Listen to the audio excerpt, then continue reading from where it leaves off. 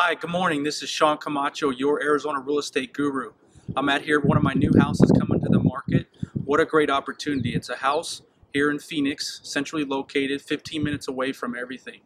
It's uh, four bedrooms with a bonus room, which kind of feels like a basement room. It's so cool. It could be a man cave, could be a game room for the kids.